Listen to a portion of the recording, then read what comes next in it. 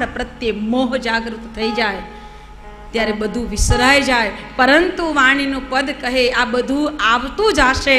પણ આ વાણીને તું પરબ્રહ્મ પરમાત્માની સાથે એનું એટેચમેન્ટ બરાબર બનાવેલું રાખીશ, તો ચિંતા નથી.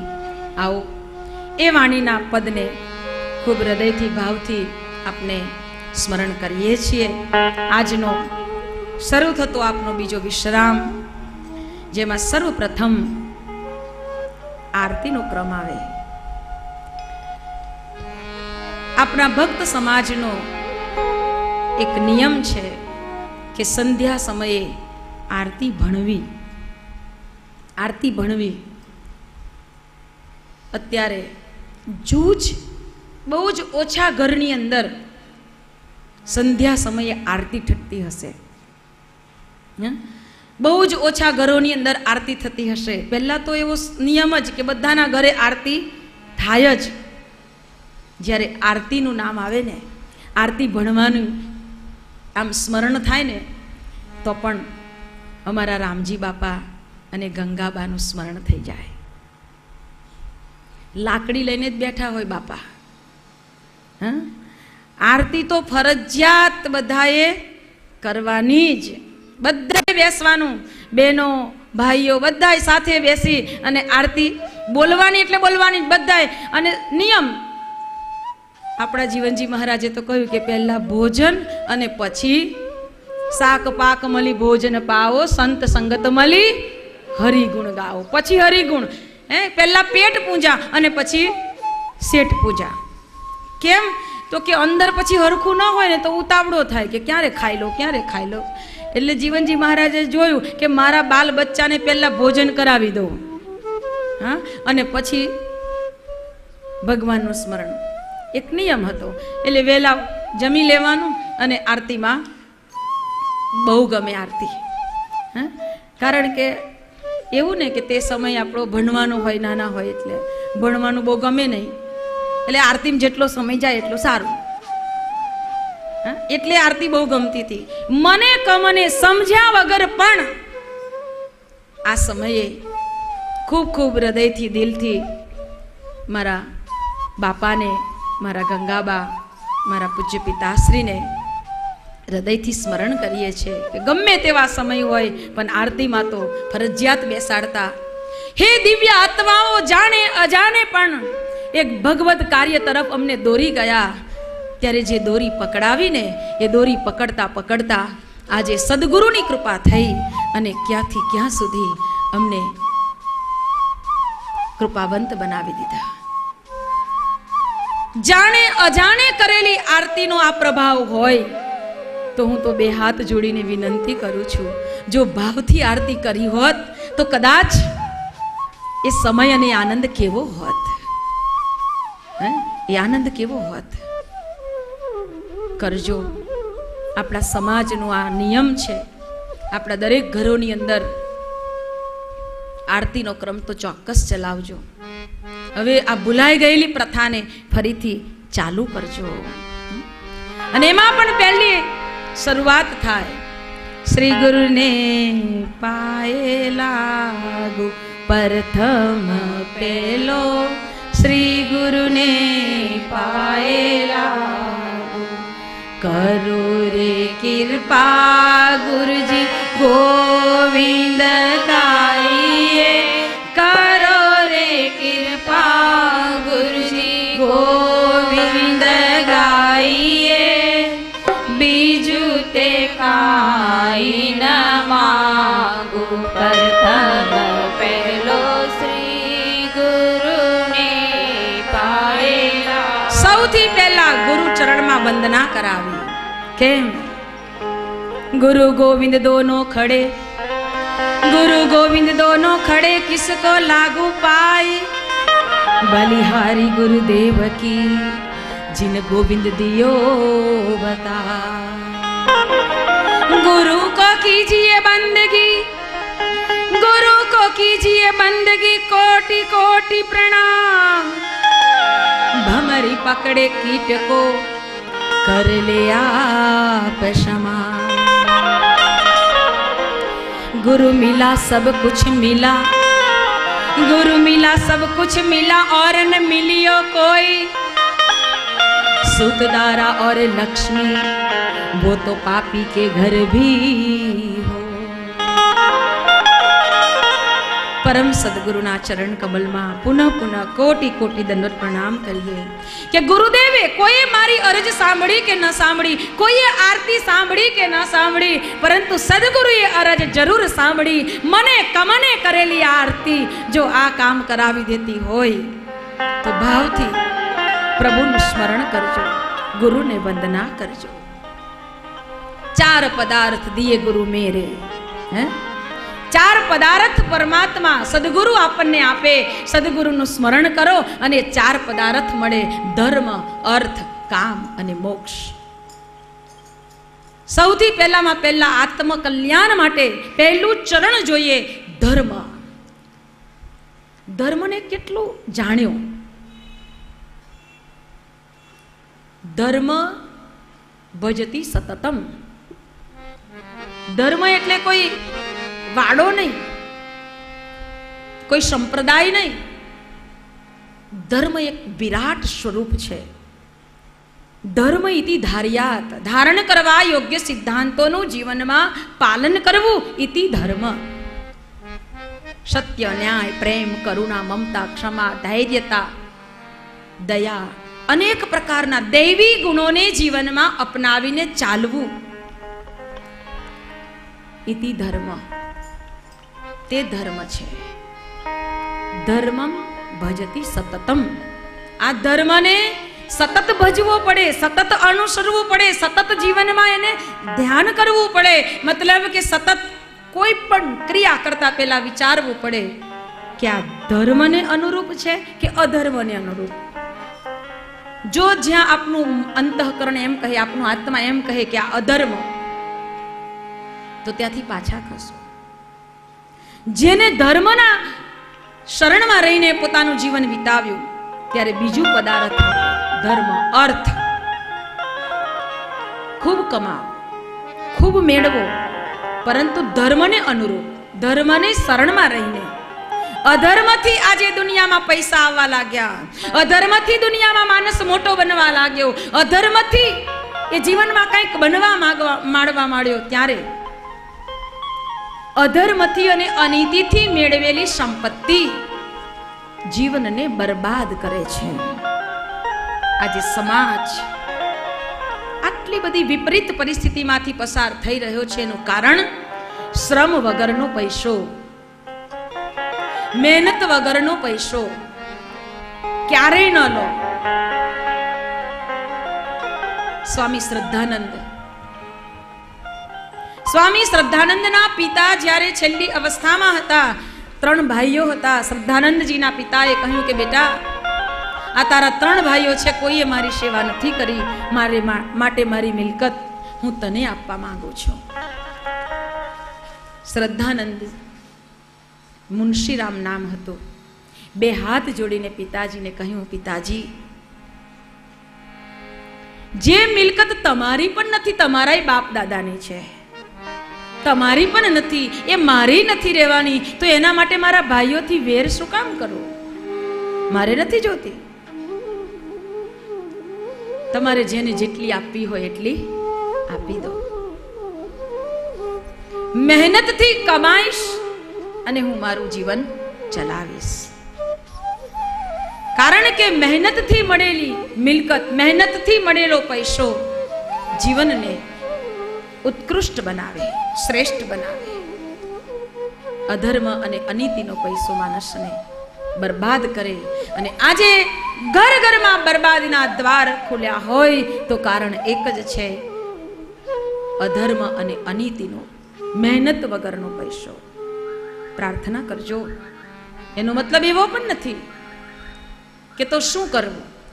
અવશ્ય જે પ્રમાણેની સમાજ વ્યવસ્થા, કુટુંબ વ્યવસ્થા, પરિવાર વ્યવસ્થા છે, એ પ્રમાણે એ હિસ્સો આપના ભાગમાં જે પણ આવે, એમાંથી અમુક ભાગ ધર્મ કાર્ય માટે જરૂર લગાવજો. જો આપના અર્થને પવિત્ર બનાવવો હોય, તો એને ધર્મ કાર્યમાં જરૂર લગાવજો. ધર્મ, અર્થ અને કામ. ત્રીજા નંબરમાં કામ આવે. અને એ કામના અનેક પ્રકાર બતાવાયા. પરંતુ ધર્મને અનુસરીને જ્યારે કામની અંદર પ્રવૃત્ત બને, તો અવશ્ય જીવન સંયમિત રહે.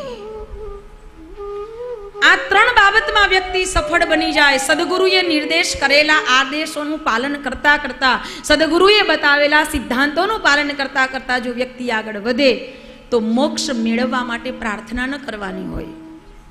સહજ મોક્ષ જીવતા મોક્ષ તેને પ્રાપ્ત થઈ જાય. મોક્ષ માટેની કોઈ કામના કરવાની જરૂર નથી. મોક્ષ શું છે એ કોને ખબર છે? જીવતા જ ખૂબ આનંદથી તમામે તમામ વ્યક્તિ વસ્તુથી મનને અડગું કરીને ચાલવું, સતત મનને પ્રભુમાં સ્થિત કરીને રહેવું, તો એને જીવતા જ મોક્ષ છે. જે ગયો, દુનિયામાંથી જે વિદાય થયો, એને તો કોઈને કાંઈ ખબર આપી નથી. હે? ટેલિફોન કર્યો કોઈએ? અત્યારે તો સેલફોન થઈ ગયા છે, એકાદ ફોન જોડે મૂકી આપજો, કદાચ પ્રયોગ કરવો હોય તો. કે ભાઈ ઉપર જાય ને પછી તું ફોન કરજે. હે? કે ત્યાં કેવી વ્યવસ્થા છે? કોઈએ કોઈને ફોન નથી કર્યો, કોઈએ કોઈને લેટર નથી લખ્યો, પત્રિકા નથી લખી ભાઈ અહીંયા બહુ સારું છે, તું ચિંતા ના કરીશ, હું તારી જગ્યા રાખું છું, એવું કોઈ કીધું? અને કોઈ કહે નહીં કે જગ્યા રાખજો. અમેરિકા જતા હોય ને તો બધા એમ કે હા, તમે જાઓ ને પછી અમને બોલાવજો? અમેરિકા જાય તો બધા વિદાય કરવા આવે, મળવા આવે તો પાછા એમ કે, હા, તમે જાઓ, પછી અમને બોલાવજો. પણ આ ઉપર જાય ને એને કોઈ કહે જ નહીં કે, તમે ગયા છો ને તો હવે અમારી પણ વ્યવસ્થા કરજો એમ? ત્યાં કોઈ ના બોલે. મોક્ષ તો વ્યક્તિ માત્ર એ અનુભવવાની ચીજ છે. અને આ ચાર પદાર્થ દિયે ગુરુ મેરે. સદગુરુ મળી જાય ને તો આ ચાર પદાર્થ માટે એને વિનંતી કે પ્રાર્થના પણ કરવાની જરૂર નથી. સદગુરુ સાથે સાચો નાતો હોય, સાચો પ્રેમ હોય, સદગુરુની વાતનું હૃદયથી એનું અનુગમન કર્યું હોય, કોઈ જરૂર નથી. એટલે એમાં વિનંતી પહેલી કરી છે, કામ ક્રોધ, લોભ, મોહ, મમતા. વિકાર સઘલો. મારી અંદર વિકાર બહુ છે. હે ગુરુદેવ, આ વિકારોથી તું અમને બચાવજે. એક તમે બચાવી શકો એમ છો. કોણ બચાવી શકે? જે આ વિકારોથી પર છે, તે જ આ વિકાર રહિત જીવને દશા બનાવી શકે. આ જીવની અવસ્થા વિકારો રહિત બને એ માટે ખૂબ સરસ આપણને આરતીનો ક્રમ બતાવ્યો. પરંતુ આરતી તો કરીએ છીએ, આરતી તો ભણીએ છીએ, પણ મારી જેમ ગાઈ નાખવાનું ફટાફટ, હે? પણ અત્યારે ખૂબ ખૂબ ધન્યવાદ. આ સ્થાને આજે કંચનભાઈ નથી, પણ ખૂબ દિલથી યાદ કરીએ છીએ. કેમના દિલની એક આશા ખૂબ હતી? કે બેન, ગમે તે થાય, હવે તમારે આ તો કરવું જ પડશે. આ તો કરવું જ પડશે. સમયની ખૂબ તૂટ રહેતી, છતાં પણ રાત્રિનો સમય તો આપણો જ છે. હે? એમાં રાત્રિના સમયે ભગવાનની સાથે બેસવાનો ખૂબ સરસ અવસર મળે. અને એમાં એની સાથે બેસી અને એમને જે પ્રેરણા કરી, સદગુરુએ જીવનજી મહારાજ, અધ્યારોજી મહારાજ, કબીર સાહેબ? સદગુરુનું સ્મરણ કરીને એમને જે પ્રેરણા કરી, એ પ્રેરણાને લઈ અને ખરેખર જ્યારે એનું ચિંતન કરવામાં આવ્યું, તો ખૂબ આનંદ થયો. અત્યંત આનંદ. અને એવો આનંદ કે જેને વર્ણવી ન શકાય, અનુભવી શકાય. અધ્યારોજી મહારાજે આરતીનો ક્રમ મૂકીને કહ્યું કે પરમાત્માને બોલાવવા છે ને? પ્રભુના ગુણગાન ગાવા છે ને? તો આર્દ સ્વરે ગા આર્ત સ્વરે. પ્રભુના ગુણગાન ગાઈ નાખવા, બોલી નાખવું, વૈખરી વાણી. એ શબ્દનું વિભાજન કરે, શબ્દને બોલી નાખે. પરંતુ જ્યાં વૈખરી મધ્યમાં પણ કામ ન કરે, ત્યારે અંતરમાંથી જે પરાવાણી અને પશ્ચંતી વાણી જ્યારે નીકળે ને, ત્યારે તે આર્તનાદવા પરિણમે. અને એ આર્તનાદવા પરિણમતી જે વાણી છે, એ પરમાત્માની સાથેનો મેળાપ કરાવે. એવા આર્ત સ્વરે જ્યારે પ્રભુનું સ્મરણ કરવામાં આવે, ત્યારે અવશ્ય પરમાત્મા સાથેનું મિલન સંભવ બની શકે. મિલન સંભવ બને કે ન બને, પરંતુ અંતઃકરણમાં આનંદ જરૂર થવો જોઈએ. અને એવો આનંદ થાય કે જેમ આપણને ગુલાબ જાંબુ બહુ ભાવતું હોય. અત્યારે મળે નહીં પાછા મોઢામાં પાણી ન લઈ આવતા હો. ગુલાબ જાંબુ બહુ ભાવતું હોય, પરંતુ એને ખાવ તો જ ખબર પડે કે કેટલું મીઠું લાગે. બીજી વ્યક્તિ ગમે તેટલા તેના વખાણ કરે કે બહુ સરસ બહુ સરસ બહુ સરસ, પણ એ કેવું સરસ લાગે એ તો જ્યારે આપણી જીભ ઉપર મુકાય, ત્યારે જ ખબર પડે. અને જીભ ઉપર મૂક્યા પછી જે આનંદ આવે ને, એવો આનંદ હરિ નામ સ્મરણથી જ્યારે ભીતરમાં થાય. અને એકવાર ગુલાબ જાંબુ ચાખી લીધા પછી બીજા દિવસે ક્યારે મળશે ક્યારે મળશે ક્યારે મળશે એવી તડપણ થાય? જેને વેડમી બહુ ભાવતી હોય ને, અને કોકના ઘરે મહેમાન થયા હોય અને મહેમાન થયા હોય ને ખબર પડે કે વેડમી બનાવી છે? તો પછી આમ અંદરથી તડપણ થાય કે હવે ક્યારે જમવા બેસાડે, ક્યારે જમવા બેસાડે, ક્યારે જમવા બેસાડે, એમ પ્રભુને મળવા માટે પણ. હવે આરતીનો સમય ક્યારે થશે? આરતીનો સમય ક્યારે થશે? એમ તડપણ જ્યારે લાગે, આરતી ભણવા ક્યારે બેસવાનું છે? એમ તડપણ જ્યારે લાગે ને, ત્યારે પરબ્રહ્મ પરમાત્મા સાથેના અંતરના નાદનો તાર એક થઈ શકે. ત્યારે એ આનંદ થઈ શકે. એ આર્ત સ્વરે જ્યારે ભીતરમાંથી પ્રભુનો નાદ સ્મરણ થાય, હે, જેને નાદ બ્રહ્મ કહેવાય. શબ્દ બ્રહ્મ અને નાદ બ્રહ્મ. એક થાય શબ્દ મુખમાંથી નીકળે, નાદ નાભીમાંથી નીકળે. અને આ બંને એક થાય, ત્યારે આર્ત સ્વરમાં નિર્માણ પામે. અને એ આર્ત સ્વરે જ્યારે આરતી થાય, આરતીનો મતલબ જ એ. આર્ત નાદે સ્મરણ કરવું. પણ આપણે તો શ્રી પદ્મનાભ તમે બેડે નહીં. હરિ અભિ ગોવિંદ ચાંદ સાર કરો. શ્રી હરિચંદ્ર શ્યામલો રાન સારંગ ધર સોમન ફાટ એક્સપ્રેસ ચાલે. અને દસ પંદર મિનિટમાં તો બધુંય રામ મંજરી બધું આવી જાય. રામ મંજરી પડે સોહી ઉત્તમ દેશ. રાઘો ચેતનીઓ કહે. પૂરું. આર્તનાદ આર્ત સ્વર ભીતરમાંથી ગુંજતો થાય આવો. એવા બીજા વિશ્રામની શરૂઆત આરતીથી આપણે કરી રહ્યા છે. ત્યારે આર્તનાદે પહેલી પ્રાર્થના આપના કીર્તનમાં બતાવેલા ક્રમ પ્રમાણે સંપૂર્ણ ભાવથી ભક્તિની યાચના. સ્વામી કૃપા કરો અતિ ઘણી ભાજો અને વિચાર.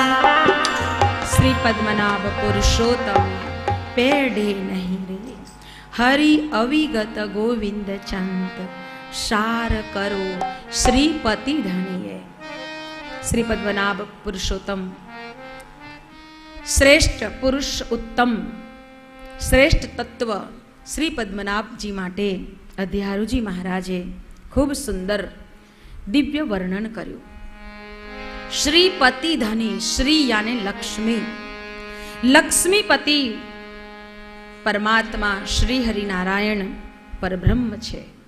પદ્મનાભજી મહારાજ છે. ખૂબ ભાવથી પ્રેમથી